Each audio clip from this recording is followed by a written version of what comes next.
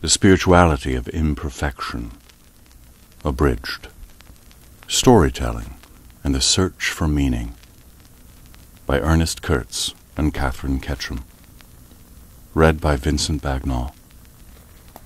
The Introduction The Story of Spirituality. Baseball teaches us, or has taught most of us, how to deal with failure. We learn at a very young age that failure is the norm in baseball, and precisely because we have failed, we hold in high regard those who fail less often, those who hit safely in one out of three chances and become star players. I also find it fascinating that baseball, alone in sport, considers errors to be part of the game, part of its rigorous truth. Francis T. Vincent, Jr., Commissioner of Baseball. Baseball, as its commissioner points out, teaches that errors are a part of the game and perfection is an impossible goal because its thought fits as perfectly as possible the theme of the book. We offer this revision of Mr. Vincent's insight. Spirituality teaches us, or has taught most of us, how to deal with failure. We learn at a very young age that failure is the norm in life Errors are part of the game, part of its rigorous truth. Discovering spirituality in the game of baseball is not so strange as it sounds. For literally thousands of years, sages and saints have explored the ordinary and everyday in the attempt to understand the extraordinary and divine. The ritual of the Japanese tea ceremony, simply carrying and serving tea, is a profound spiritual exercise. The posture of kneeling in prayer conveys acceptance and mindfulness.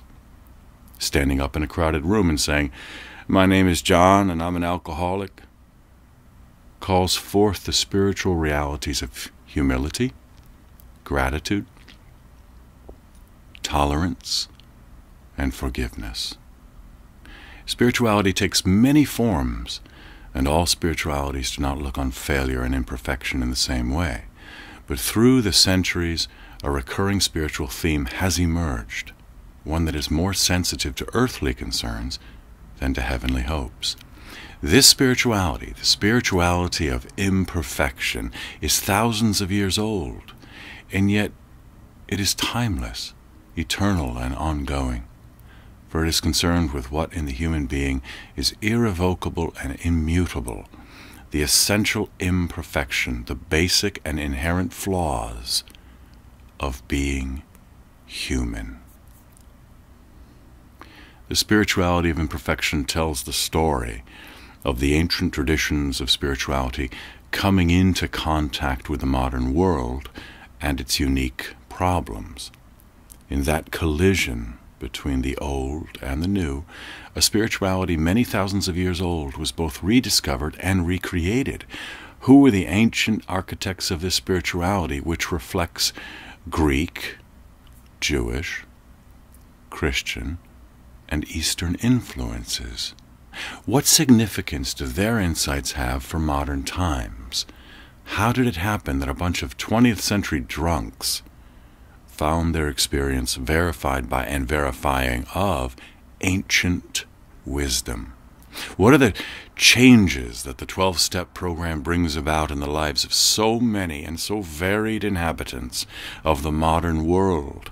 Why do alcoholics seem to need a spiritual program in order to stay sober?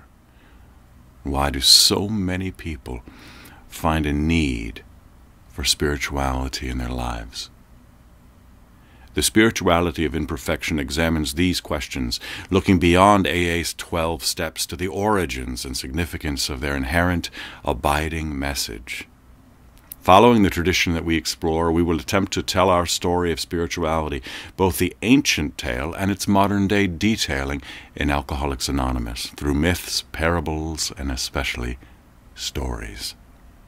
For once upon a time, people told stories in the midst of sorrow and in the presence of joy, both mourners and celebrants told stories, but especially in times of trouble when a miracle was needed and the limits of human ability were reached. people turn to storytelling as a way of exploring the fundamental mysteries. Who are we? Why are we? How are we to live? The spirituality of imperfection is a spirituality of not having all the answers. For those who have come to expect an answer to every question, a solution to every problem, and an end to every beginning, such an approach may be disconcerting at first. As we travel around in the past, rummaging through the different traditions, pulling out a thought here, relating a story there, revealing a way of seeing the world from over there, the reader may experience a sense of dislocation and disorientation. But continue on, for this seemingly disjointed wandering is the way of imperfection. By the end of this journey, the jarring notes, spatial dissonances, and cultural cacophonies will blend together into a sort of symphony. A chorus of separate, distinct, and sometimes off-key voices harmonizing into a whole. Not perfect harmony, but harmony nonetheless. The fragrance of a rose. Religion is for people who are afraid of going to hell. Spirituality is for those who have been there. Ross V., a member of Alcoholics Anonymous. The disciples were absorbed in a discussion of Lao Tzu's dictum Those who know do not say, those who say do not know. When the master entered, they asked him what the words meant. Said the master, Which of you knows the fragrance of a rose? All of them knew. Then he said, Put it into words. All of them were silent. What is spirituality? Well, to have the answer is to have misunderstood the question. Truth, wisdom, goodness, beauty, the fragrance of a rose, all resemble spirituality in that they are intangible, ineffable realities. We may know them, but we can never grasp them with our hands or with our words. These entities have neither color nor texture. They cannot be gauged in inches or ounces or degrees. They do not make a noise to be measured in decibels. They have no distinct feel as do silk, wood, or cement. They give no odor. They have no taste. They occupy no space. And yet they exist. They are. Love exists. Evil exists. Beauty exists. Spirituality exists. These are the realities that have always been recognized as defining human existence. We do not define them, they define us. When we attempt to define spirituality, we discover not its limits, but our own. Similarly, we cannot prove such realities. It is truer to say that they prove us, in the sense that it is against them that we measure our own human being, the act and the process by which we exist. Life is not what we have or even what we do, connected as they may be. We are what and how and who we are, and being is a real activity, like love. Spirituality is a way that we be. This way of being defies definition and delineation. We cannot tie it up, in any way package it or enclose it. Elusive in the sense that it cannot be pinned down. Spirituality slips under and soars over efforts to capture it, to fence it in with words. Centuries of thought confirm that mere words can never induce the experience of spirituality. And when the disciples of the Baal Shem Tov asked him how to know whether a celebrated scholar whom they proposed to visit was a true zaddik, he answered, Ask him to advise you what to do to keep unholy thoughts from disturbing you in your prayers and studies. If he gives you advice, then you will know that he belongs to those who are of no account. Words, as is well known, are the great foes of reality, wrote Joseph Conrad. But when words fail, where can we turn? In order to understand spirituality, in order to live a spiritual life, we must first be able to imagine such a life, to form a mental picture, a representation or representation of what it might look like and feel like. But to do that, to see and feel spirituality, we need a deeper level of language to help us fathom our experience. And so, as people have done throughout the ages, we turn to metaphors, images, and stories. Metaphors govern understanding by suggesting that an unknown and ineffable entity, life, can best be understood as an activity one knows something about. Pilgrimage, for example. While pilgrimage is perhaps the most frequently used metaphor for the spiritual life, a modern spiritual writer uses another ancient example, that of health. Spirituality is a lot like health. We all have health. We may have good health or poor health, but it's something we can't avoid having. The same is true of spirituality. Every human being is a spiritual being. The question is not whether we have spirituality, but whether the spirituality we have is a negative one that leads to isolation and self destruction, or one that is more positive and life giving. Images, detailed portraits, or panoramic pictures stored in the mind's memory drawers also have their role in moving our understanding toward the standing under, that is, experience, a term that conveys a kind of seeing that both thinks and feels. If we try to call forth spirituality in our imagination, do we envision a picture of some saint, Francis of Assisi, Albert Schweitzer, or Mother Teresa of Calcutta? Or perhaps a religious ceremony comes to mind the echoes of ancient ritual in the Catholic Mass, the free spirited enthusiasm of a revival meeting, the quiet serenity of a Quaker gathering. But still, something is missing.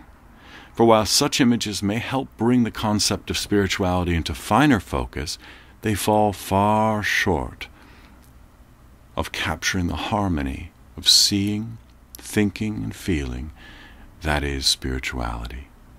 But stories, Stories are the vehicle that moves metaphor and image into experience. And like metaphors and images, stories communicate what is generally invisible and ultimately inexpressible. In seeking to understand these realities through time, stories provide a perspective that touches on the divine, allowing us to see reality in full context as part of its larger whole. Stories invite a kind of vision that gives shape and form, even to the invisible, making the images move, clothing the metaphors, throwing color into the shadows. Of all the devices available to us, stories are the surest way of touching the human spirit.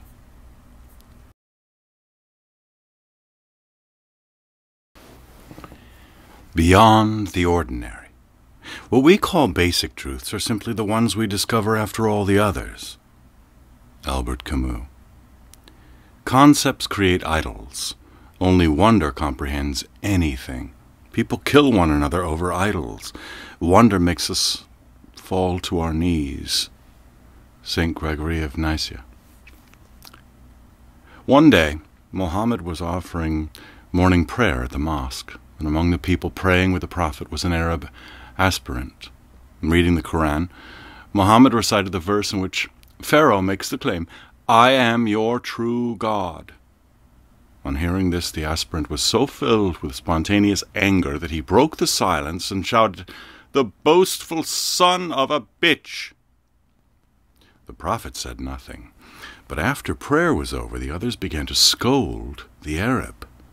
Aren't you ashamed of yourself? You have surely displeased God, because not only did you interrupt the holy silence of prayer, but you used filthy language in the presence of God's prophet.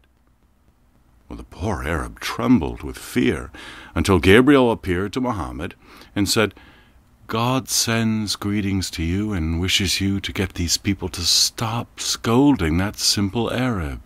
Indeed, his spontaneous profanity moved my heart more than the holy prayers of the others. Spirituality points always beyond, beyond the ordinary, beyond possession, beyond the narrow confines of the self, and above all, beyond expectation because the spiritual is beyond our control. It is never exactly what we expect. The word spiritual originally meant what the most obvious synonyms of spirit, breath, wind signify something that cannot be seen, but that we nevertheless experience.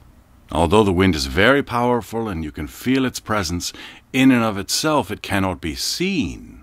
You know it's there by its effect on others. The great trees, the grasses, and waves on the sea bend with its force.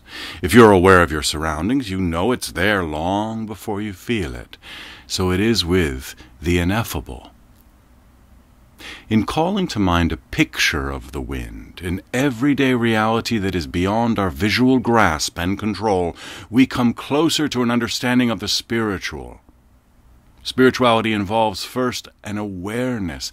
If you are aware of your surroundings, that comes not through the eyes, the ears, the hands, or any specific sense, but through a larger openness, a general opening up to life's experiences. And that awareness implies a sensitivity to others. We first discover that spirituality is there in the world because we notice its effects not in ourselves but on others. As the trees and the grasses bend with the force of the wind, so do human beings move within the force and power of the Spirit, inspired by it, no matter how hard we try to take charge, no matter how adamantly we claim to be in control. For spirituality is always beyond control. We can't hold it in our hands and touch it, manipulate it, or destroy it, because it is beyond control. It is also beyond possession. We can't own it, lock it up, divide it among ourselves, or take it away from others. Beyond all else, spiritual means other than material. To those who first used the word spirituality, it signified led by or lived by the Spirit.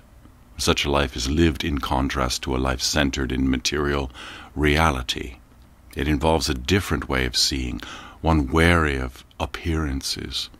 Proverbs that capture the wisdom sayings of the Hebrew and Christian scriptures remind that charm is deceptive and beauty fleeting advising that we praise not a man for his looks, and despise not a man for his appearance, for appearances tend to be illusory.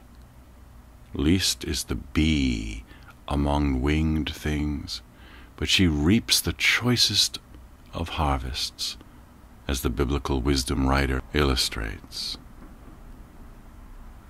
Appearances tend also to be irrelevant. The daughter of Caesar said to Rabbi Yahshua ben Hananiah, why is glorious wisdom contained in an ugly vessel like you? He said to her, Well, does your father keep his wine in earthen vessels? She said to him, In what else should he keep it? He said to her, You people of importance should keep it in gold and silver. Well, she immediately went and told her father, who put the wine into golden and silver vessels. When it soured, Caesar confronted his daughter. Who told you to do this? She said to him, Rabbi Yahshua's ben Hananiah. Caesar called the rabbi to him and asked, Why did you tell that to my daughter? What she told me, the rabbi replied, I told her. Caesar said, But there are also beautiful people who are scholars. And if they were ugly, they would be even greater scholars.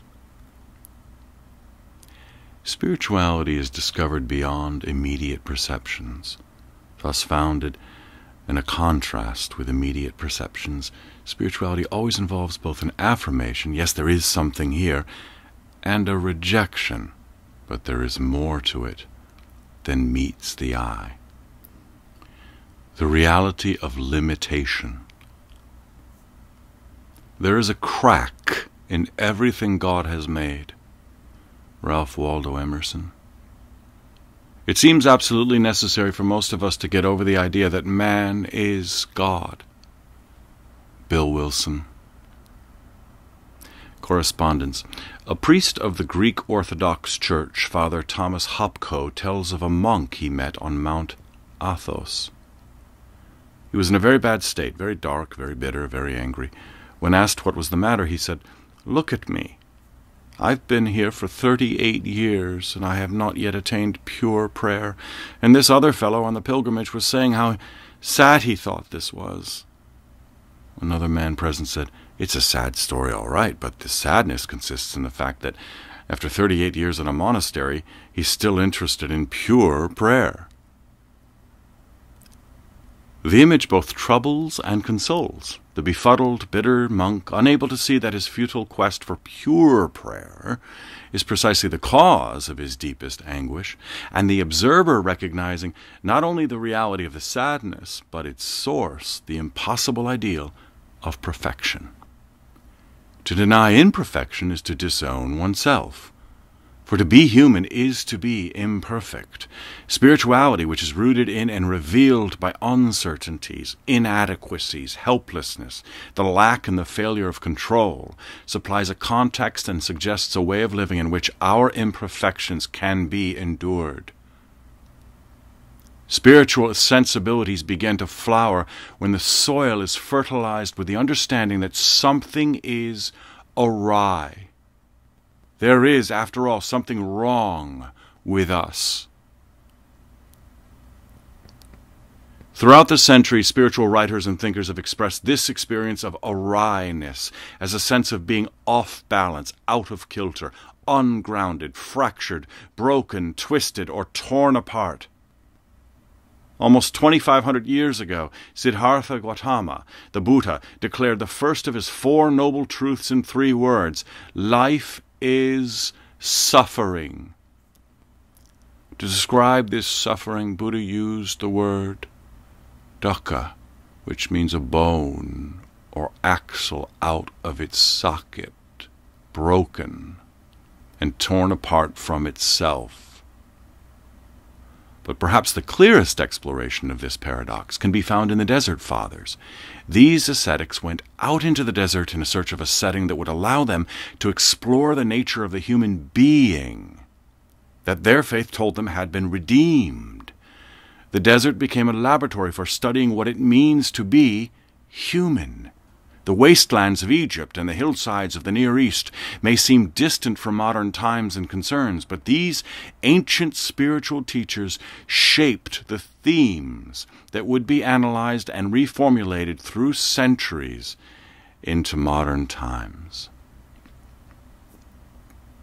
Their explorations depicted our human sense of alienation in terms of an inner tension or struggle as early as the middle of the second century, the apostolic Father Hermas described the conflict between the good and the bad angels within each of us. Because these spiritual forces can exert a powerful influence over us, we must take care, he warned, not to put our trust in the wrong angel. Hermas offers no hope that we can entirely rid ourselves of the bad angel within us. He suggests not a plan for perfection, but a program of survival, surviving our imperfections. We all sin, we all fall short from time to time. The important question is will we survive those fallings short? Our sins. A sense of balance. Somewhere in each of us we're a mixture of light and of darkness, of love and of hate, of trust and of fear. Jean Vanier. A preacher put this question to a class of children If all the good people in the world were red, and all the bad people were green, what color would you be? Little Linda Jean thought mightily for a moment. Then her face brightened and she replied, Reverend, I'd be streaky. The most ancient wisdom of the human race is the vision of the human as essentially mixed, somehow in the middle. To be human is to be fundamentally finite, essentially limited, not God. And yet, at the same time, to be human is to be capable of more, to be capable of both wisdom and love that transcend the limitations of time. In a very real sense, then, to be human is to be caught in an impossible situation. We crave that which is essentially beyond us. This paradoxical insight has been stated variously throughout the ages. The ancient Egyptians and Greeks portrayed human beings as less than the gods, more than the beasts, yet somehow also both. Among the earliest classic myths, we find the tale of how the human race sprang from the remains of the terrible Titans, who, because they had eaten an infant god, contained a tiny portion of divine soul stuff, which was to be passed on to humans. This Titan myth neatly explained to the ancient Greek why he felt himself to be at once a god and a criminal, why he experienced both the Apolline awareness of remoteness from the divine and the Dionysian inkling of identity with it.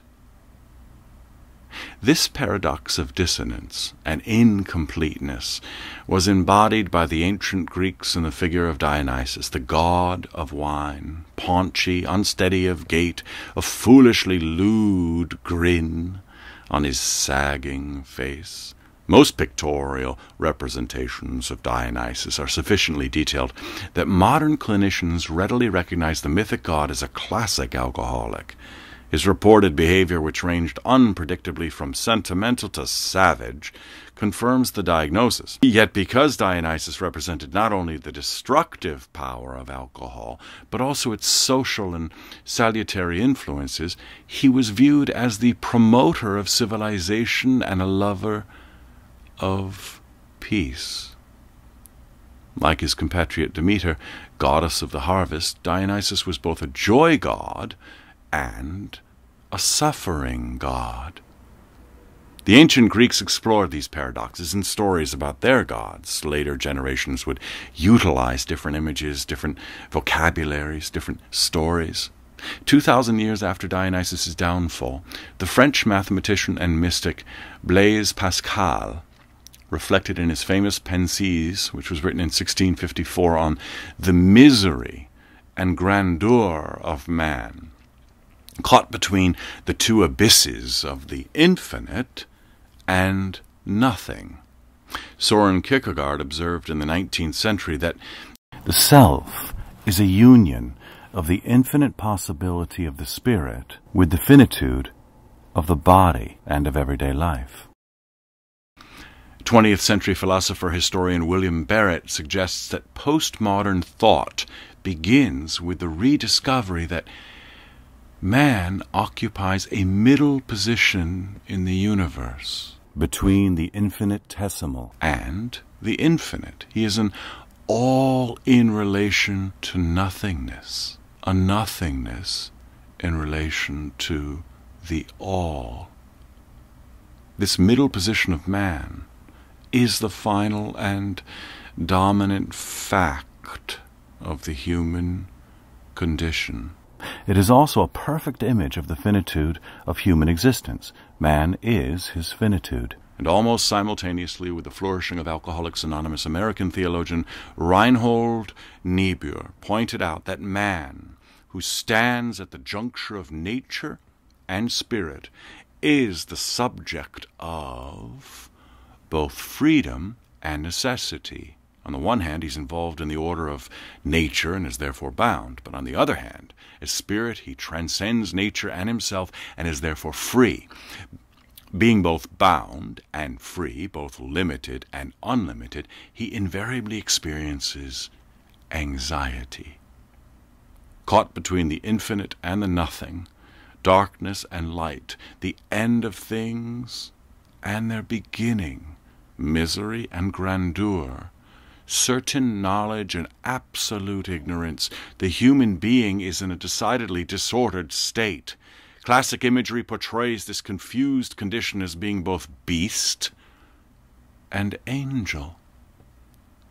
A more modern expression emphasizes that both the best and the beast reside within each of us. For it is when that bothness is denied that problems arise. He who would be an angel becomes a beast, observed Pascal. And at the beginning of the 20th century, the Spanish born American philosopher George Santayana developed the corollary to Pascal's image. It is necessary to be a beast if one is ever to be a spirit. In our own times, the anthropologist Ernest Becker, aware that he was dying of cancer at age 49, even as he was completing his Pulitzer Prize winning book, The Denial of Death, captured his anguished thoughts on the subject of man's dual nature in a description both vulgar and vivid. Man is a god who shits. The ultimate reflection of our two sided nature is the uniquely human knowledge that we are going to die that's the unique gift that humans have above all other animals. They can share their death with each other, suggested William Barrett in The Illusion of Technique. And the Sufi tell an older story. One day, the blessed Jesus caught a sheep from a pasturing flock and said something in its ear. The sheep stopped eating grass and would take no water. A few days later, as the blessed Jesus was passing that same pasture, he pointed to the sheep and said to the shepherd, Is that animal sick? Why is it not eating grass and taking water like the rest? Not recognizing him, the shepherd replied, A person recently passed this way and said something in this sheep's ear. From that day to this, the animal has been stupefied. If you are curious to know what the venerable Jesus said in the sheep's ear, let me tell you what the blessed Jesus said was, Death exists. Although it was only an animal, when it heard of death, that sheep stopped eating and drinking and went into this state of stupor the sages and saints leave no doubt that to be human is to be caught between a rock and a hard place, or perhaps more accurately, between heaven and hell. But then we moderns know that all we have to do is listen to ourselves talk. I'm so confused. I'm all torn up. I'm hopelessly muddled. I don't know who I am. Titles of recent so called self help books confirm our inability to accept the reality of our own paradox, killing ourselves with kindness. Am I well yet? Afraid to live, afraid to die. When am I going to be happy?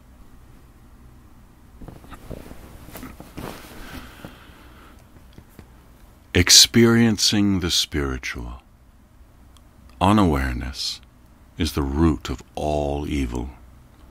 Anonymous Egyptian monk. Spirituality is above all a way of life. We don't just think about it or feel it or sense it all around us, we live it. Spirituality permeates to the very core of our human being, affecting the way we perceive the world around us, the way we feel about that world, and the choices we make based on our perceptions and sensations. In the experience of spirituality, three essential elements are always at play what we see, how we feel, and why we choose. Rabbi Levi Yitzchak of Berdichev once encountered a man eating on the fast day of Tisha B'Av. Surely you have forgotten that this is a fast day, he said.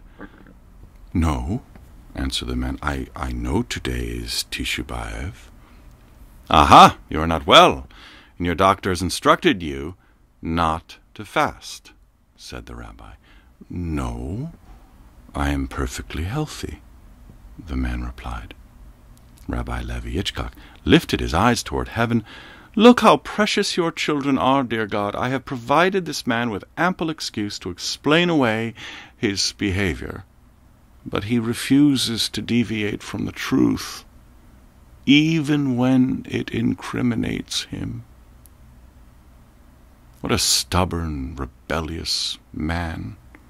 Someone else might have concluded, but Rabbi Levi Yitzchak saw the good, which enabled him to feel brotherhood with the man. Or was it his feeling of brotherhood with his fellow Jew that allowed the rabbi to see the good? Or were the seeing and the feeling both results of some prior choice? The word experience speaks to the wholeness, the fitting together of seeing, feeling, and willing.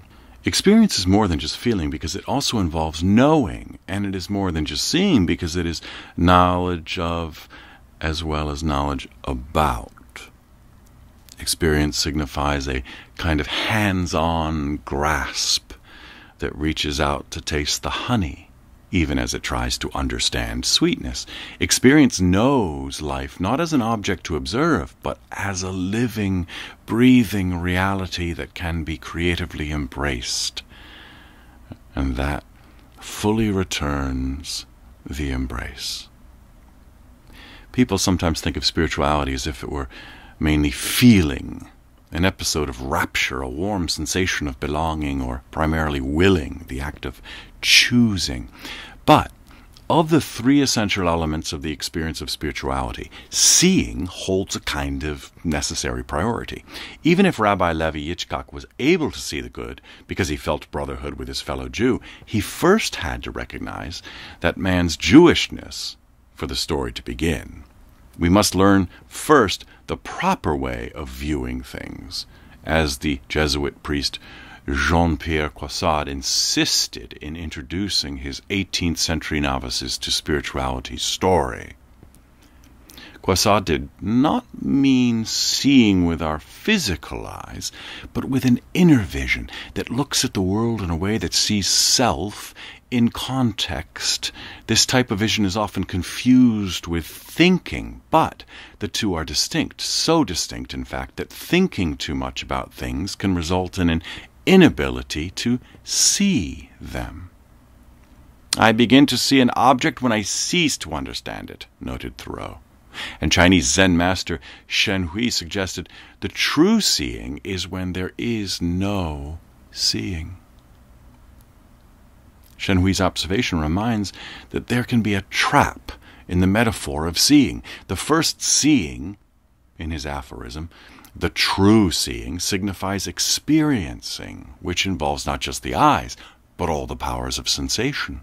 The tradition of a spirituality of imperfection, with its emphasis on storytelling and story listening, suggests that of all the senses, hearing enjoys a real claim to precedence. For one thing, as the philosopher Hans Georg Gadamer observed, unlike seeing, where one can look away, one cannot hear away but must listen.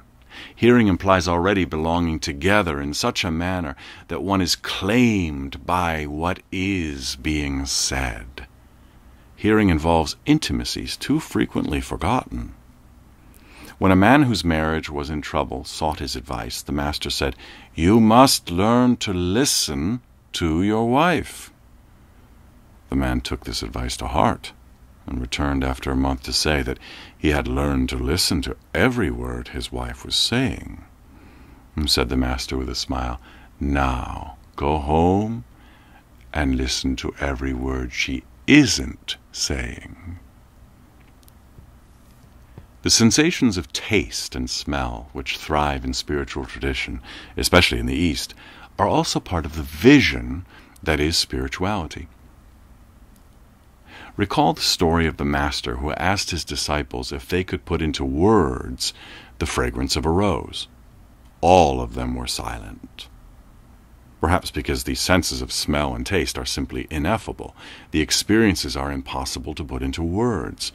Efforts to capture the fullness of the experience of spirituality frequently appeal to the sense of sweetness. Commenting on the Rosh Hashanah prayer for a good and sweet year, Abraham Twersky, who is both a psychiatrist and an Orthodox rabbi, explains Good can be understood intellectually, but sweet is a sense experience which even a little child can appreciate. We ask God for uncomplicated and unsophisticated goodness, the sweet kind of good that can be appreciated by all, rather than that which is understood only by people of profound faith. Give us simple good, sweet as honey. Shared vision, shared hope. To feel less alone is without doubt an ultimate quest of all life, yet perhaps never before has loneliness been so widespread as it is today. Matina Horner. Rabbi Hanok loved to tell this story. For a whole year I felt a longing to go to my master Rabbi Bunim and talk with him, but every time I entered the house I felt I wasn't man enough. Once, though, when I was walking across a field and weeping, I knew that I must run to the rabbi without delay. He asked, Why are you weeping? I answered, I am, after all, alive in this world, a being created with all the senses and all the limbs, but I do not know what it is I was created for, and what I am good for in this world. Little fool, he replied, that's the same question I have carried around with me all my life. You will come and eat the evening meal with me today. Spirituality is nurtured in community, the oneness with others that springs from shared vision and shared goal, shared memory and shared hope. As Ignatius of Antioch advised first century Christians, one cultivates the way of life that is spirituality by seeking out the company of the saints, those seeking to live the same way of life. While spirituality can be discovered in solitude, by retreating to a cell of some kind, by reading, thinking, meditating, praying. It can be fulfilled only in community. The desert Abba Poemen offered a telling observation. It's possible to spend a hundred years in your cell without ever learning anything. Many hundreds of years later, the Hasidic rabbi Jacob Yitzchak clearly stated the reason. The way cannot be learned out of a book or from hearsay, but can only be communicated from person to person. Why do we need community? St. Basil, criticizing a life lived in service to the needs of the individual, as plainly in conflict with the law of love, asked, Whose feet wilt thou then wash? Whom wilt thou care for? And St. Augustine offered an interpretation of a familiar New Testament story that one popular modern speaker embellishes in explaining why, even though he is convinced that a higher power saved him from his alcoholism, he still needs Alcoholics Anonymous. It's sort of like the raising of Lazarus from the dead. After Jesus had called Lazarus forth from the tomb, he told the bystanders to free him from his burial bonds. My higher power raised me, called me forth from my alcoholism, but I need the other drunks and Alcoholics Anonymous to unwrap me, to let me loose and keep me loose from it. Rather than asking why we need community, it may be more important to ask how we need others. Wisdom's answer to that question, the answer embodied in the spirituality of imperfection, is that human beings need each other precisely in relationships of mutuality. Mutuality involves not just give or get, nor even give and get. In relationships of mutuality, we give by getting and get by giving, recognizing that we truly gain only what we seek to give, and that we are able to give only that which we are seeking to gain. That may sound complicated, but the experience of mutuality is the foundation of the very existence of Alcoholics Anonymous. This is the main discovery that Bill Wilson made in his first meeting with Dr. Bob Smith Bill got sober in early December 1934. For several months, he tried to help other alcoholics by sharing his newfound sobriety with them. Those he approached showed no interest. Then, in early May of 1935, Wilson went to Akron, Ohio on a business deal, which promptly fell through. On the day before Mother's Day, Bill paced the lobby of the Mayflower Hotel in Akron, getting more and more depressed. Sounds of laughter and of ice tinkling in glasses wafted from the bar. And he caught himself thinking a thought he had not had in over five months. I need a drink. It was hardly a new concept. But then, that impulse was pushed out of his mind by an idea that was completely new. No, I don't need a drink. I need another alcoholic.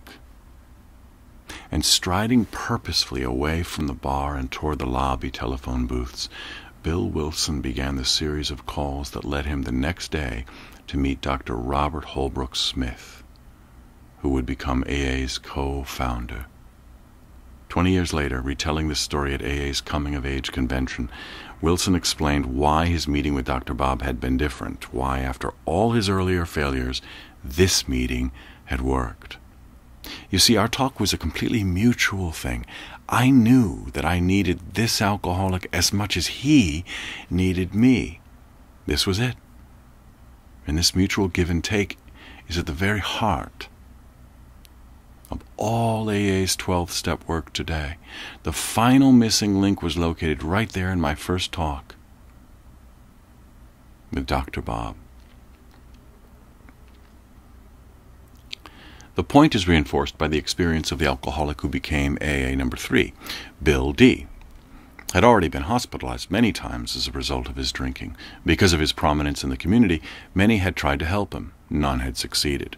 Why then did he listen to Bill Wilson and Dr. Bob Smith when these two strangers confronted him? What was different about their approach? All the other people that had talked to me wanted to help me, and my pride prevented me from listening to them It caused only resentment on my part. But I felt as if I would be a real stinker if I did not listen to a couple of fellows for a short time, if that would cure them. Mutuality, the awareness that life's most precious realities, love, wisdom, sobriety, are attained only in the giving of them and are given only in the openness to receive them. A half century after AA's founding, Jean Vanier, former naval officer, former philosophy professor, former student for the Catholic priesthood, offered an understanding of mutuality derived from his meditation on the story of the confrontation between Jesus of Nazareth and the sinful woman. He does not tell the woman who approaches him, Mary Magdalene, to get her act together. He does not just forgive her or heal her, which will prove, after all, to be the same. Rather, he begins by exposing to her his need. He says, I need you.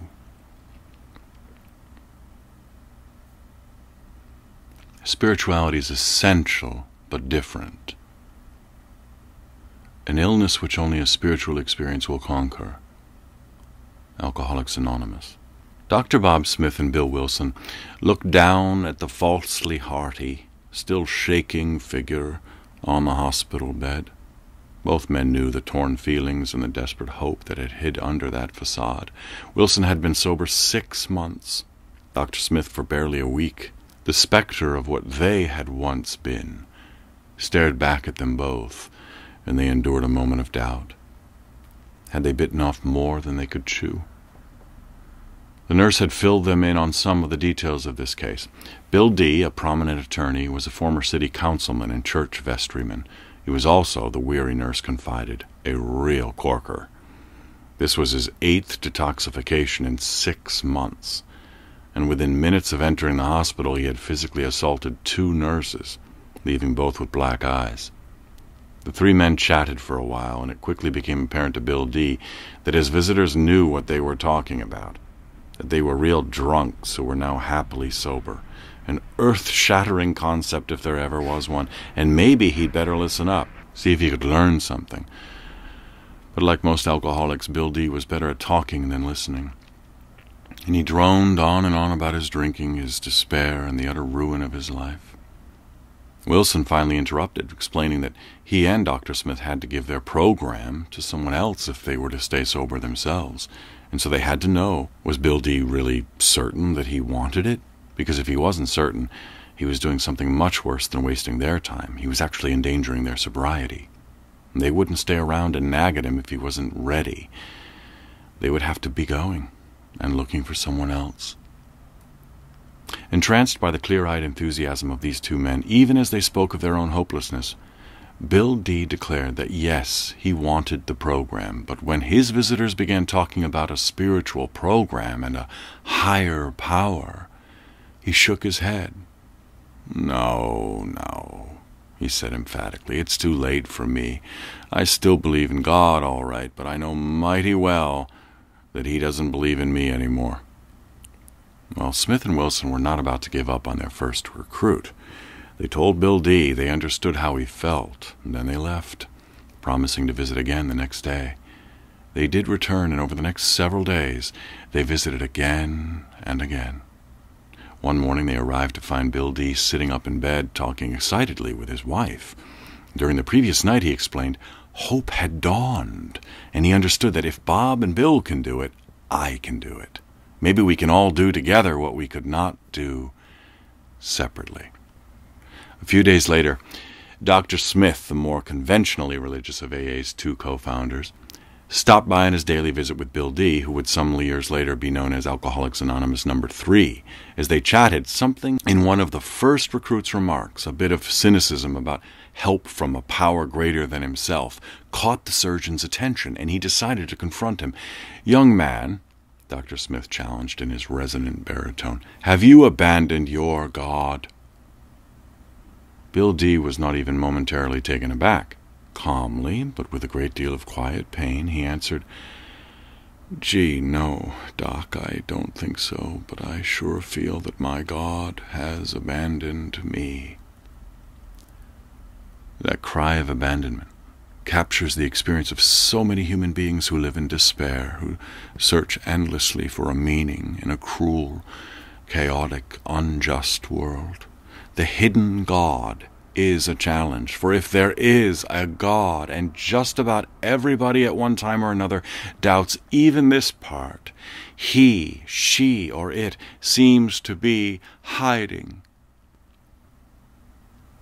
This may sound like a very modern malaise, but the complaint is not new. Not magic, but miracle. The problem of evil has baffled mankind since Eden perhaps because it can only be approached through facing the mystery of good, and we do not like to acknowledge that good is a mystery. D.M. Dooling. Miracle is simply the wonder of the unique that points us back to the wonder of the everyday. Maurice Friedman. One of the early issues of the Grapevine, AA's unofficial monthly publication, reported on a bantering conversation about why AA works. Opinions varied from moral philosophy to behavior conditioning, from extolling the joys of sober fellowship to emphasizing the usefulness of reminders to remember when. Finally, Bill Wilson spoke up. Why AA works is fundamentally a mystery when we consider that for thousands of years few alcoholics escaped from their misery, and that we are now witnessing a wholesale escape. That adds up to a miracle, and a miracle is a mystery. And miracle, Bill and the other early AAs knew from their own experience of alcoholism and recovery, is exactly the opposite of magic. Miracle involves openness to mystery, the welcoming of surprise, the acceptance of those realities over which we have no control. Magic is the attempt to be in control, to manage everything. It is the claim to be or to have a special relationship with some kind of God. Spirituality is aligned not with magic and the effort to control it, but with miracle, the wonder of the unique that points us back to the wonder of the everyday. Novelist Nikos Kazantzakis retells the story.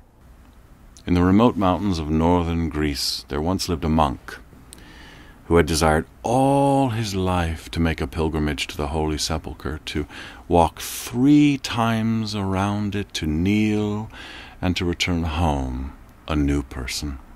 Gradually, through the years, he had saved what money he could, begging in the villages nearby, and finally, near the end of his life, had enough set aside to begin his trip. He opened the gates of the monastery and, staff in hand, set out with great anticipation on his way to Jerusalem. But no sooner had he left the cloister than he encountered a man in rags, sad and bent to the ground, picking herbs. Where are you going, father? the man asked. To the Holy Sepulchre, brother.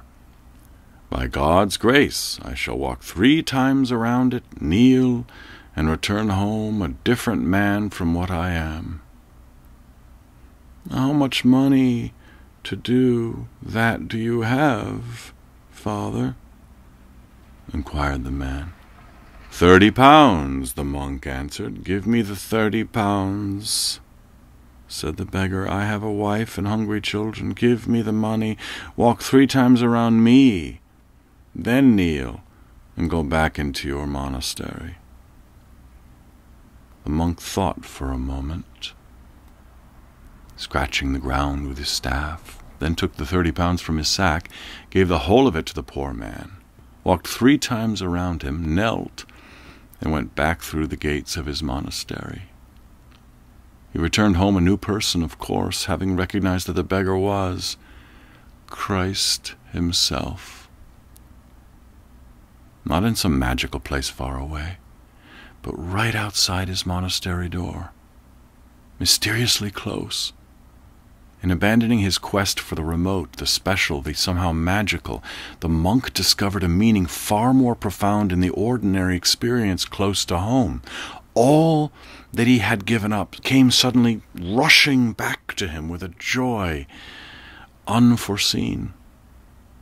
To be surprised by grace is a gift still to be prized. We do not create miracles, we witness them. In witnessing them, we must acknowledge that they exist.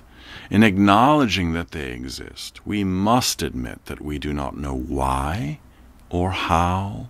Somehow above and beyond human reason, miracle, like mystery, is inexplicable unsolvable and incomprehensible. Underlying the very concept of miracle is the simple acceptance that we're not in ultimate total control. This is also, of course, the inherent, eternal, fundamental message of spirituality. You cannot control everything. You are a human being, and human beings make mistakes. And that's okay, because you are a human being, not a God. At the heart of all spirituality is a sense of wonder and surprise, the awe that accepts that it can only marvel and delight, whether at the magnificence of a landscape, the sublimity of a symphony, or the incomprehensible beauty of self sacrificing love. Awe, one writer suggests, is a reflex of the spirit. One penalty inflicted by the need to control is the failure of awe and wonder and the consequent inability to see miracle. Anxious determination to take control, to be in charge, reveals the failure of spirituality. Addiction represents the ultimate effort to control, the definitive demand for magic, and the final failure of spirituality turning to the magic of chemicals, signifies the desperate and doomed attempt to fill a spiritual void with a material reality to make magic a substitute for miracle. Addiction has been described as the belief that whenever there is something wrong with me, it can be fixed by something outside of me.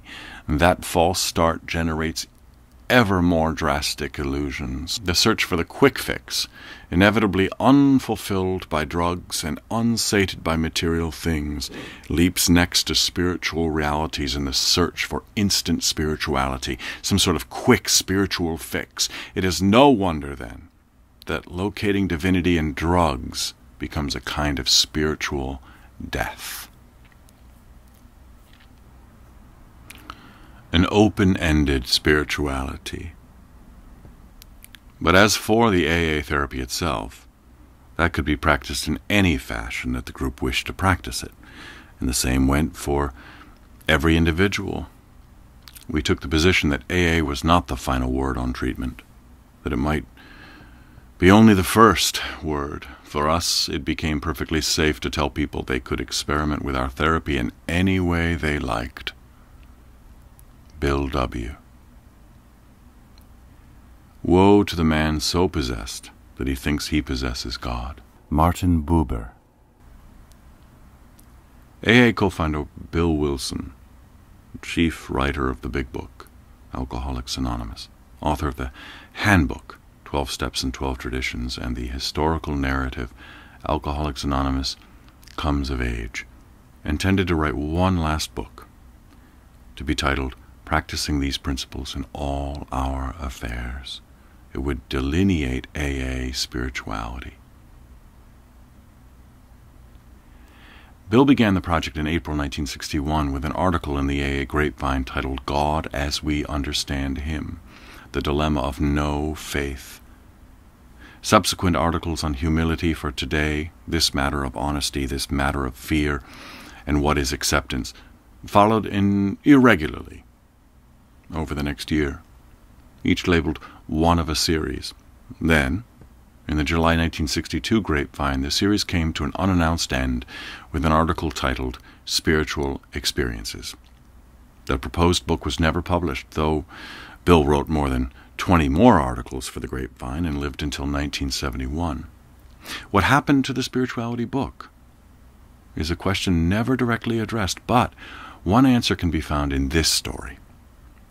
One evening at a meeting, during the time he was working on the book, Bill noticed an AA member of obvious spiritual depth. Hoping to plumb his experience, Bill approached the man after the meeting. You seem to have a real spirituality, Wilson began. Oh, no, the man replied, quickly cutting Bill off. I mean, thanks. I, I am working on the spiritual angle, but if you want to know about spirituality, you'd better talk to Donald over there. Or maybe you could look up Phil. He moved about a month ago, but look, I'll get his new telephone number for you. That's how I learned the most important thing about spirituality. Bill always mused in retelling the story. Those who have it don't know that they have it. And that is why Bill never finished that book on spirituality, for he understood the paradox all too well. Anyone who claimed to be an expert on the subject of spirituality would not be able to produce a book worth reading. Spirituality is one of those realities that you have only so long as you seek it. As soon as you think you have it, you've lost it. In rediscovering this basic spiritual insight, the earliest members of AA tapped the essence of open endedness that characterizes a spirituality of imperfection. Spirituality is boundless, unable to be fenced in. We do not capture it, it captures us. As much as we might like to wrap things up, to lock spirituality in and hold it fast, it will forever escape our grasp. In the long story of spirituality, many images have been used in the effort to convey its open endedness. In the modern age, we tend to favor the metaphor of growth. The literature of therapy and popular writings on self help have thrived on this image, describing growth in biological terms as a spontaneous and largely automatic process, profoundly shaped by outside factors such as parents, teachers, and peers. Lives can thus be read like the rings of a tree, with events and experiences leaving their marks deeply and permanently embedded in our psyche. As the twig is bent, these early aberrations can never be entirely undone. The classic literature on spirituality suggests a more ancient image for the spiritual life, that of building, in which our lifetime is occupied in the construction of a spiritual edifice, a kind of home. The rich metaphor of architecture offers several advantages. It invites thinking in terms of tools, materials, and choices. Which tools, which materials do we choose to use in shaping our spiritual abode? Building also requires a plan, or at least planning, and so thinking how and what one chooses to see makes a difference to the outcome. And finally, although the task of construction is laborious, mistakes can be undone, and what is learned from them can be used to improve the structure as a whole a pervasive spirituality. Step six, we're entirely ready to have God remove all these defects of character. Step eight, we made a list of all persons we had harmed and became willing to make amends to them all. Step 12, having had a spiritual awakening as a result of these steps, we tried to carry this message to alcoholics and to practice these principles in all our affairs. From the 12 Steps of Alcoholics Anonymous. A few years ago, at an alcoholism treatment center in the suburbs of Chicago, staff members reported an intriguing discovery. Many of them lived at some distance from the facility, each day braving the hazards of tollway traffic and commuting to and from work. Then one day, the state of Illinois instituted honor system toll collection booths in that area. No attendant, no barrier gate, just a basket into which motorists were expected to throw their coins.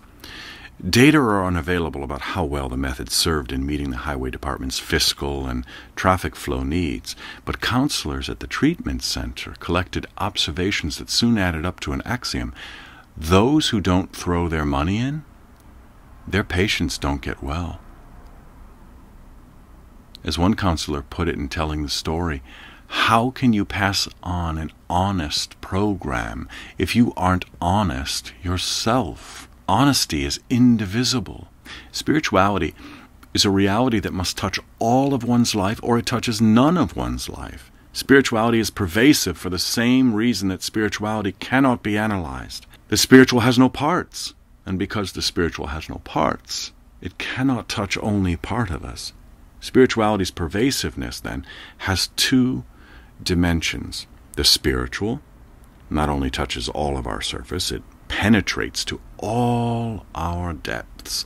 We must live it, think it, feel it, and most important, act it in our own lives. For only if we do it, only if we practice it, will we come to understand what it is. Spirituality thus resides at our center, flowing into all that we are and do. It is at the very core of our being. We cannot borrow it, putting it on for an hour or a day, using it like a cloak to cover the hardness in our heart or the angry or jealous thoughts in our mind. Spirituality is not a pet project that we can take up for a month or two. It is never hobby. Pervasive is an extraordinarily difficult concept to convey. Perhaps a story will help. Some years ago, a student of 12 step spirituality offered a presentation at the newly established Renewal Center of Hazelden, one of the oldest and most renowned centers for the treatment of alcoholism and other chemical dependencies. As he was laboring to make his point about the pervasive nature of spirituality, one of the participants asked for an image to help her picture the words. What is it like? she asked, her expression earnest and intent. I think I understand what you mean, but can you give me a picture? Well, momentarily stumped, the presenter sat for several frustrating minutes staring across the conference lounge at the massive stone fireplace, so carefully fashioned out of rock, deposited in the locality during Minnesota's glacial area. Late afternoon sun streamed into the room, warming the stones with light. Suddenly, the stones themselves came into focus. Perhaps he could use them for an image. The deep reddish rocks flecked with golden specks, the green hued pieces irregularly marbled in white, the many shaded blue slabs, their shallow niches sparkling as if with silver. Which of these stones could best represent the spiritual? physical, mental, spiritual. The phrase reverberated in his mind, but which of the rocks provided the best image for each of those realities? Well, the workshop participants, ever polite and patient, shifted quietly in the rare silence. Then suddenly, the image came. Looking at the stones, wondering at their beauty, the presenter's vision made one of those gestalt switches, and he saw not the individual stones, but the chimney itself the mortar, the bland, grayish, pebbly stuff that held all those stones together, that was the spiritual. The spiritual is not some separate category, one specific type of stone or a particular stone of great beauty, but the substance that holds everything together Spirituality is like that mortar in the fireplace, he offered pensively, finally breaking the long silence. Just as the mortar makes the chimney a chimney, allowing it to stand up straight and tall, beautiful in its wholeness, the spiritual is what makes us wholly human. It holds our experiences together, shapes them into a whole, gives them meaning, allows them and us to be whole. Without the spiritual, however physically brave or healthy or strong we may be, however mentally smart or clever or brilliant we may be, however emotionally integrated or mature we may be, we are somehow not all there. Release. Come to the edge. No, we will fall. Come to the edge. No, we will fall. They came to the edge. He pushed them and they flew. Apollinaire. Everything terrifying is, in its deepest being, something helpless that wants our help. Rainer Maria Rilke. Many readers will be familiar with a marginally humorous story of antique vintage. Clifford was leaning against the fence, enjoying a beautiful view from the top of the Grand Canyon, when the wooden posts suddenly ripped from their cement moorings. Seconds later, Clifford was plunging down into the abyss. Halfway to the bottom, his desperate arm, waving, helped Clifford catch and clutch the branch of a scrubby tree that grew from the canyon wall. Grasping, gasping. He looked both up and down. No way could he climb that sheer cliff, even if he could swing his body toward the wall but below yawned the chasm. Unbroken by any other tree or holding place. To fall would be to die, horribly crushed on the rocks below. No one had seen him fall, and he hung there out of sight, knowing that the wind would scatter his weak voice no matter how loudly he shouted. Desperate, Clifford cried out to the heavens, God, help me! Hearing his own trembling voice, he wailed again, Please, God, help me.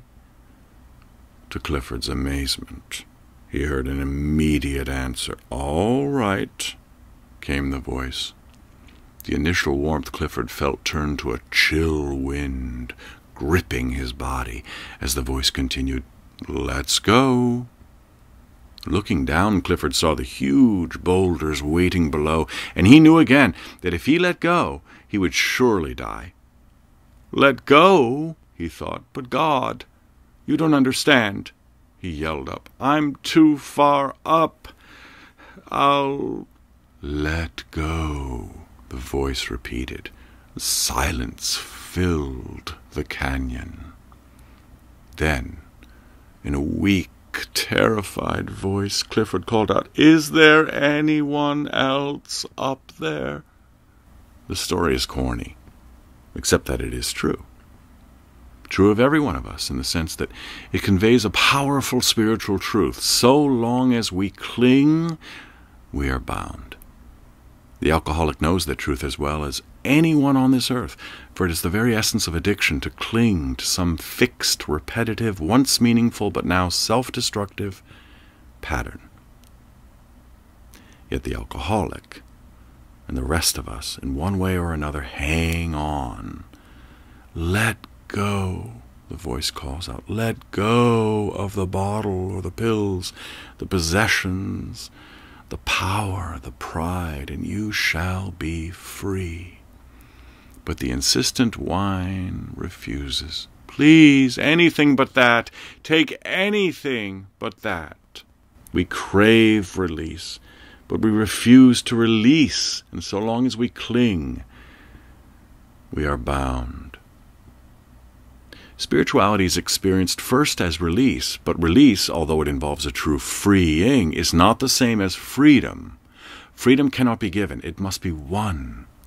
Release, on the contrary, is experienced rather than gotten, received rather than attained. And so it does not work to tell one story in order to attain release, yet release does emerge from the practice of telling one's story. When we let the truth about ourselves be revealed, we experience a kind of release, wrote Michael Zimmerman in his study of Martin Heidegger. Note the wording, we let the truth be revealed, implying an openness rather than some kind of exhibitionism, conveying a sense of wonder rather than of triumph. The experience of release has been described as the chains falling away, a light going on, a weight lifted, something giving way. The very language attests that the experience is not one of triumph, I did it, but one of awe and wonder. I somehow see what I never saw before. The awareness that we do not earn this experience, but are given it reveals life itself and the experiences within it as gift. Gratitude. Thinking is a kind of thanking. In thanking, we accept the gift of existence. In accepting ourselves, we become ourselves. As released, we gratefully enter into the play of which we are already a part. Releasement means homecoming. Thinking as thanking means loving. Michael Zimmerman. Gratitude is heaven itself. William Blake. A blind man was begging in a city park. Someone approached and asked him whether people were giving generously. The blind man shook a nearby empty tin. His visitor said to him, Let me write something on your card. The blind man agreed. That evening the visitor returned. Well, how were things today? The blind man showed him a tin full of money and asked, What on earth did you write on that card? Oh, said the other, I merely wrote, Today is a spring day, and I am blind. Because release is a gift, a reality not earned, not merited, not attained in any way, there flows naturally from the experience of release the experiencing of gratitude. And gratitude can best be defined and understood as the only possible response to a gift, to something recognized as utterly freely given. Gratitude is the vision, the way of seeing that recognizes gift. Our culture seems on the verge of losing the meaning of the experience of gratitude, in part because we've lost all sense of gift.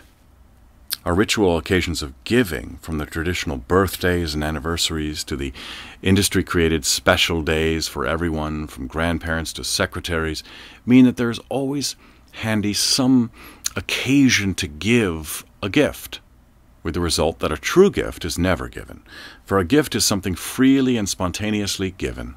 A true gift is inspired rather than occasioned. After attending a conference, a man walked down the streets of a strange city whiling away the hours before his plane left. Enjoying the stroll and the window shopping, he spotted a singularly attractive cashmere sweater.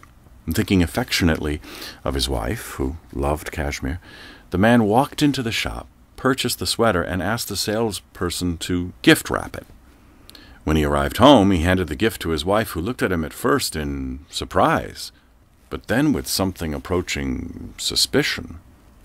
Opening the gift, she examined it appreciatively, but then looked up to ask, And what is this for?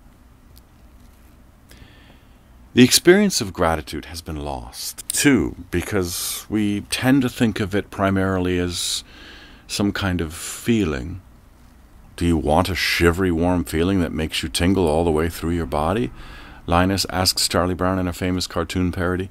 Well, go pee in your pants.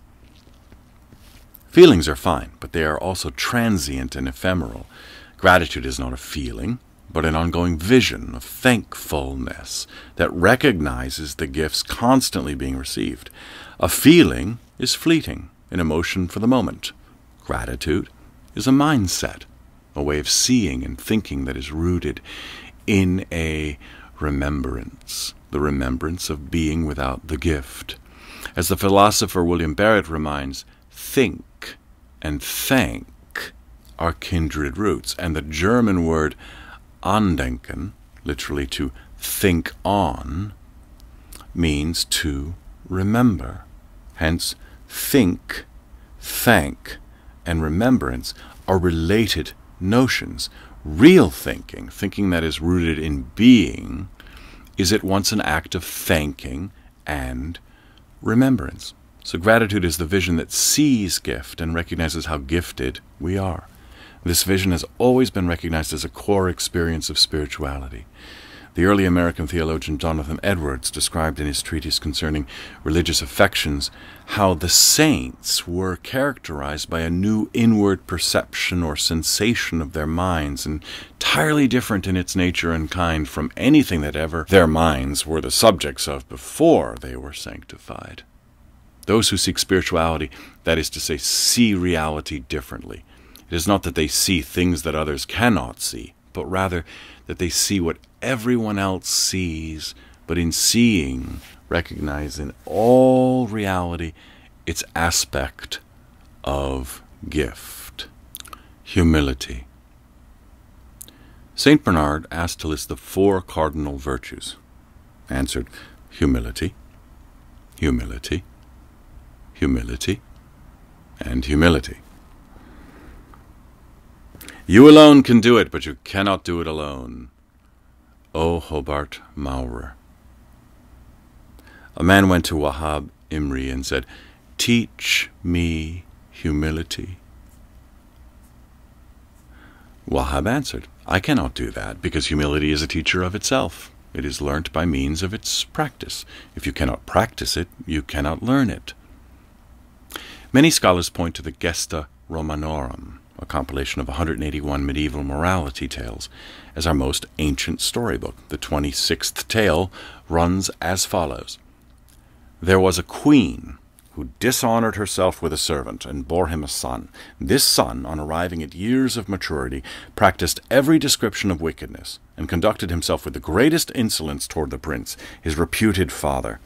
The prince, unable to account for such perversion of mind, interrogated the mother as to the legitimacy of her child, and finding, by her reluctant confession, that he was not his son. Though loath to deprive him of the kingdom, he ordained that his dress for the time to come should be of different texture and color, one side to be composed of the most ordinary materials, and the other of the most valuable, so that when he looked upon the baser portion, his pride might be abated, and the vicious propensities in which he had indulged, relinquished. On the other hand, when he surveyed the more gorgeous part, his hopes might be raised, and his spirit animated to goodness. By this judicious device he became remarkable for humility, and ever after abandoned his dishonest life. In an era that fawns on the rich and famous and adopts as its rallying cry, Me first, Humility is a concept scorned, or worse, neglected. We know it or fail to know it, mainly in its caricatures, the fictional Caspar Milquetoast, the cringing spouse, or the spineless employee. The ancient favorable sense of the word connoting mildness, modesty, patience of spirit, and the willingness to remove oneself from the center of the universe has been eroded in the modern era by unfavorable interpretations in which lowly calls to mind servility and self abasement. Meek is equated with cowardly submissiveness, and mildness is interpreted as blandness. Plain vanilla ice cream in a freezer, crowded with chocolate raspberry truffle and Swiss almond praline. Humility as earthiness may be less a distortion than humility, as groveling or timidity, but each of these modern interpretations misses the essence of this ancient classic virtue. For humility signifies simply the acceptance of being human, the acceptance of one's human being. It is the embrace of the both and ness both saint and sinner, both beast and angel, that constitutes our very being as human, beginning with the acceptance that being human, being mixed, and therefore sometimes mixed up, is good enough. Humility involves learning how to live with and take joy in that reality. As a spiritual experience, humility contains its own unique paradox. Those possessed by it do not realize that they do participate in it, and those who think they possess it most often have no idea what it is. As the Sufi saying suggests, a saint is a saint unless he knows that he is one. One day, a rabbi in a frenzy of religious passion rushed in before the ark, fell to his knees, and started beating his breast, crying, I'm nobody! I'm nobody! The cantor of the synagogue, impressed by this example of spiritual humility, joined the rabbi on his knees, saying, I'm nobody! I'm nobody! The shamus custodian, watching from the corner, couldn't restrain himself either. He joined the other two on his knees, calling out, I'm nobody! I'm nobody! At which point the rabbi, nudging the cantor with his elbow, pointed at the custodian and said, Look who thinks he's nobody. Humility is above all honesty. True humility and neither exaggerates nor minimizes, but accepts. As Dag Hammarskjöld put it in Markings, humility is just as much the opposite of self abasement as it is of self exaltation. To be humble is not to make comparisons. Secure in its reality, the self is neither better nor worse, bigger nor smaller than anything else in the universe. It is, is nothing, yet at the same time one with everything. Tolerance. The way our worthy alcoholics have sometimes tried to judge the less worthy is, as we look back on it, rather comical. Imagine, if you can, one alcoholic judging another. Bill Wilson. Innocently unaware of the prejudices held against him, an old black man, staunchly religious, some years ago applied for membership in an exclusive church. The pastor attempted to put him off with all sorts of evasive remarks. The old man, becoming aware that he was not wanted, said finally that he would pray on it, and perhaps the Lord would tell him just what to do. And several days later he returned, Well, asked the minister, did the Lord send you a message?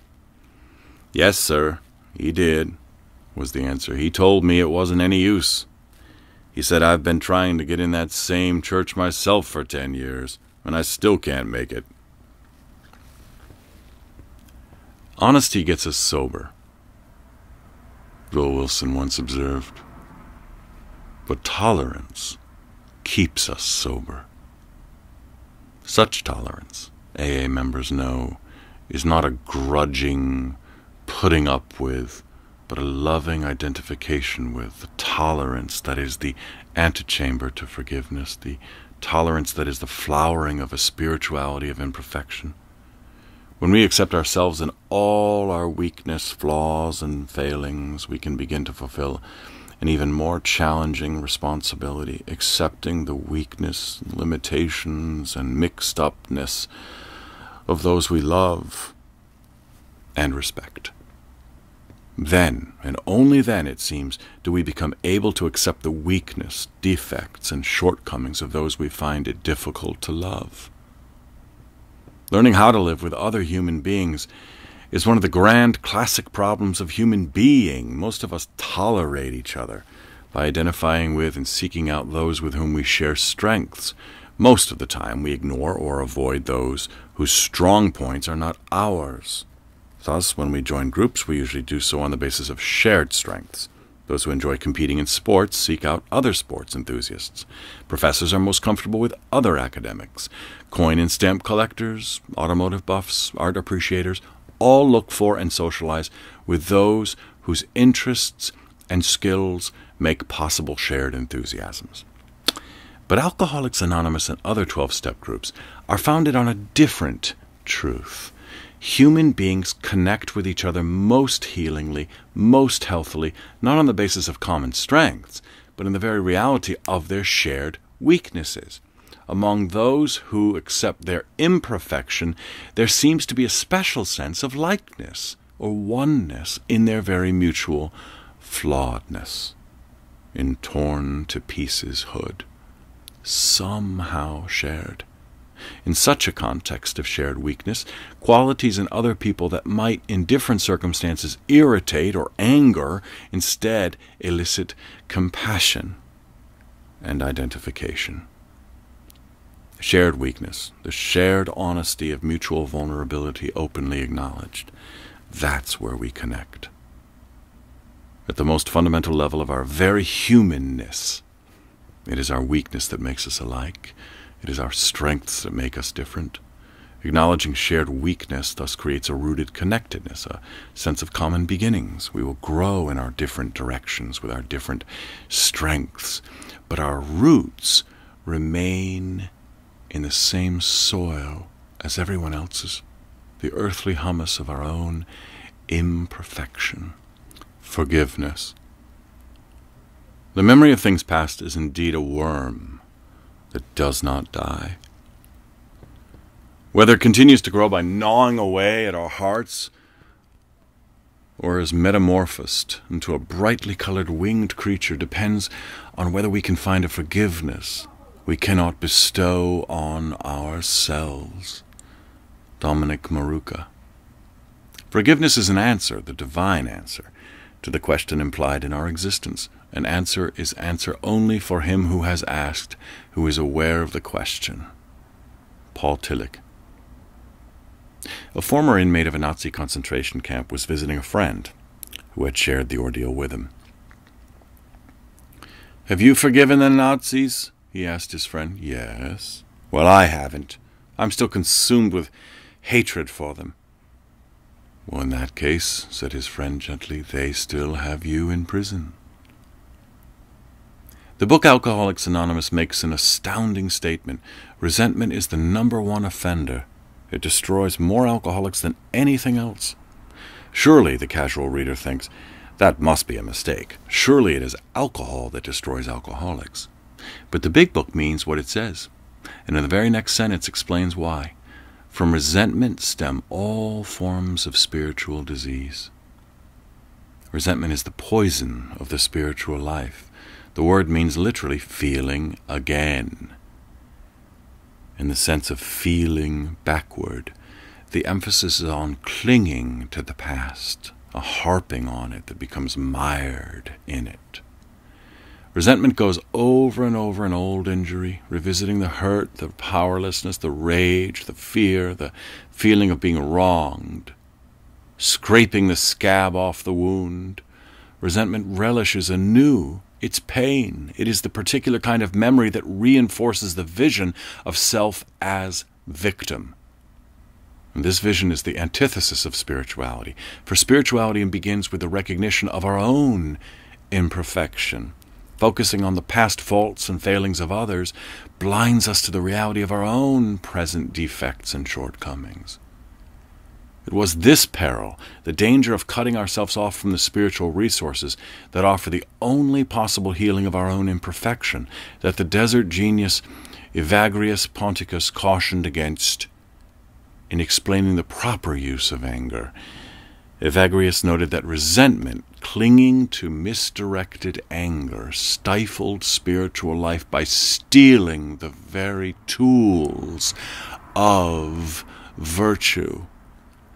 We need to reclaim anger for its proper purpose. It is always a waste of good anger to get annoyed with other human beings. What the ascetic needs to do is to focus his attention on the fact that he is annoyed. Instead of seeing some other human being angrily, he tries to see his own anger. He can then begin to fight against it.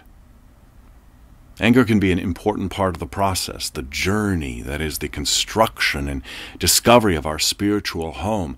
But resentment has the capacity to stop that process, to abort that journey.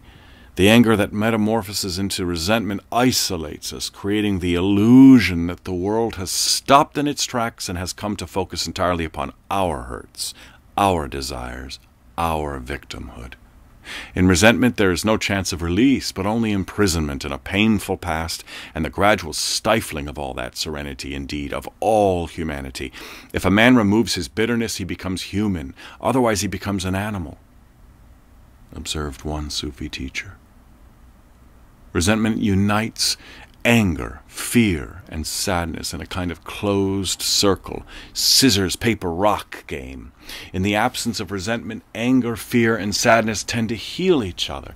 Anger can act like a scissors, cutting through fear. The fear that, like an enveloping shroud, wraps itself around and threatens to smother the rock. That is sadness.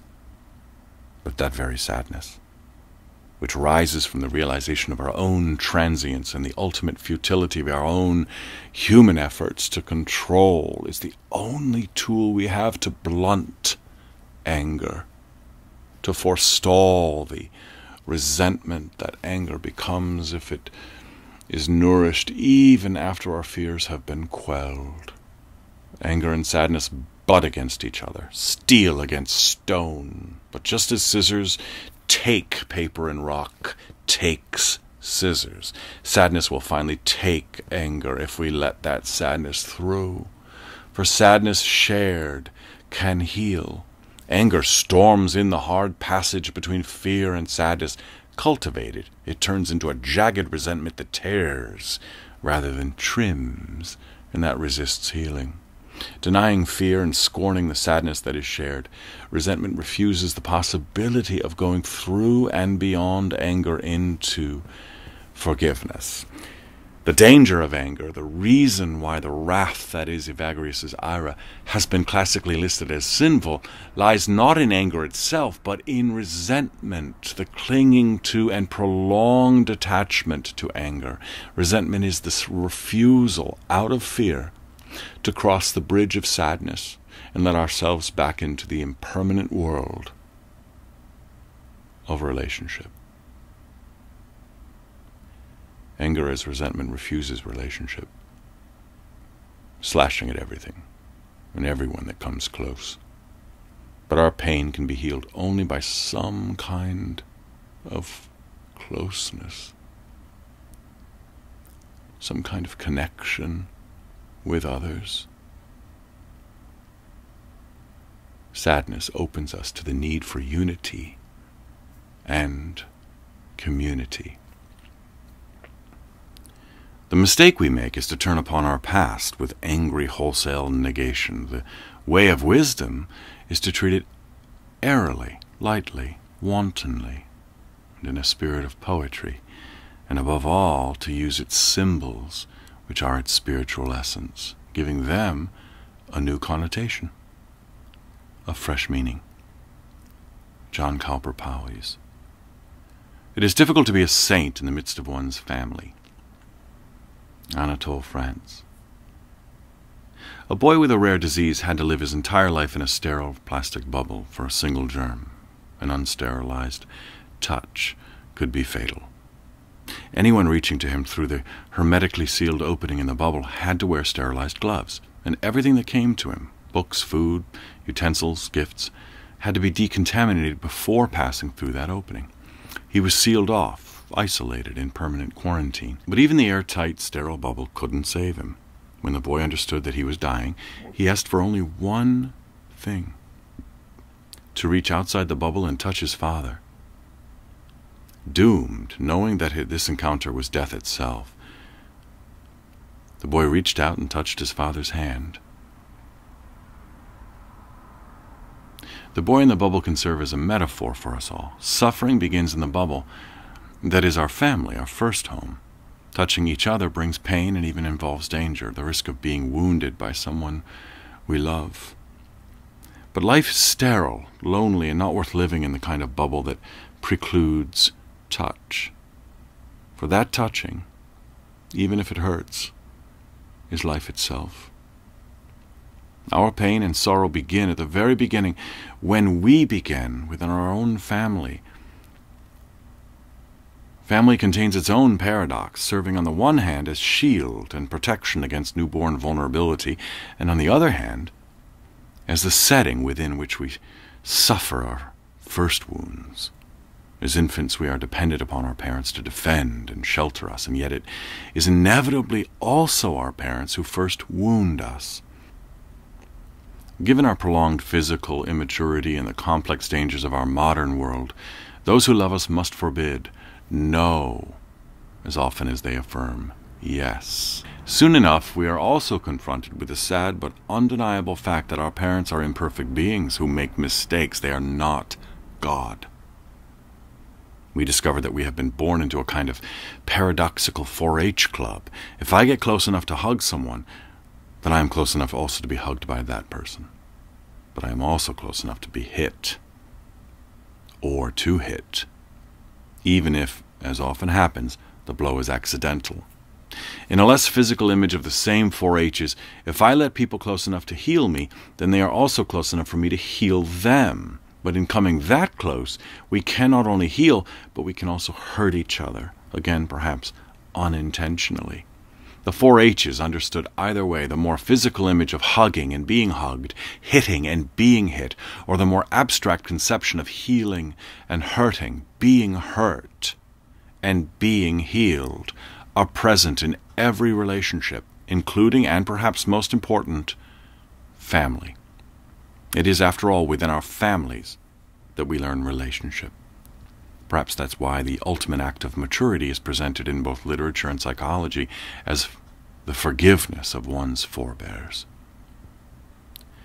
Yet, if we are to believe the pop therapy literature that has become epidemic in modern American culture, the issue is not forgiveness, but the need to free ourselves from our familial past, to find release from our parents' chains.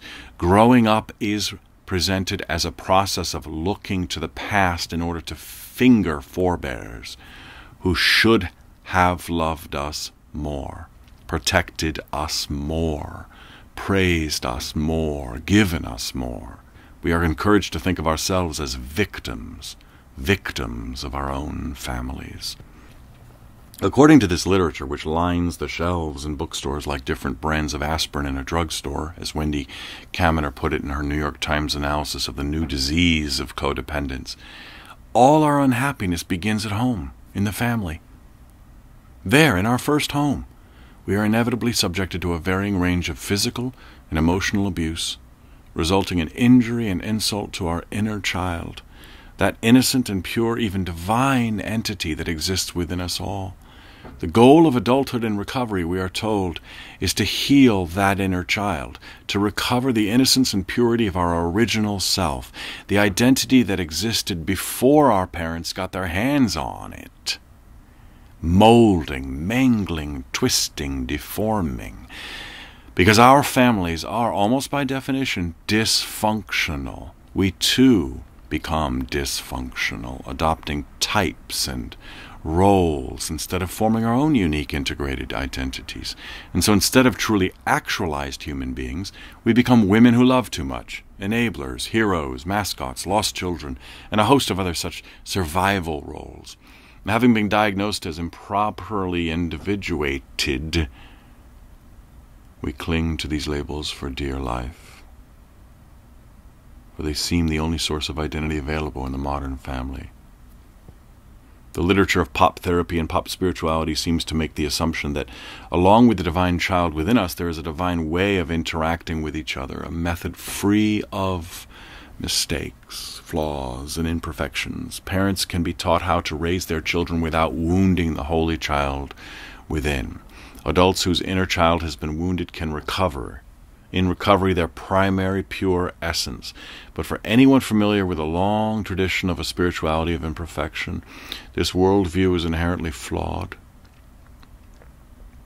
As John Garvey noted in his study of the prematurely saved, when St. Anthony went into the desert to face himself and God, he did not find in himself a poor self image.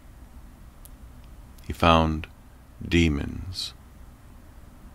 The presentation of good health and evil, sickness, and addiction as polar opposites, absolutely black and absolutely white, ignores the fundamental truth, the basic significant reality of the human being. We are inherently and intrinsically imperfect, and therefore any relationship we enter into, voluntarily or involuntarily, familial or otherwise, will necessarily be flawed.